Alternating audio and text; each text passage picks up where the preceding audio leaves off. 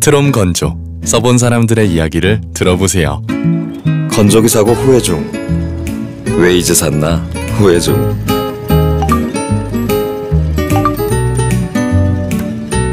데이트 1시간 전 입고 나갈 옷을 말렸다.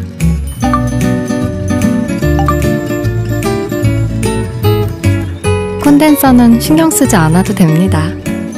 트롬이 다 알아서 하니까요.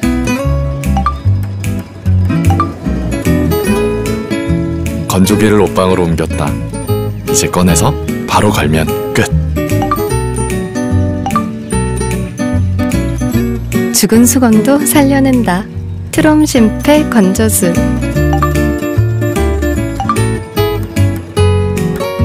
모두가 트롬 건조를 사랑하는 데는 이유가 있습니다. LG 트롬 건조기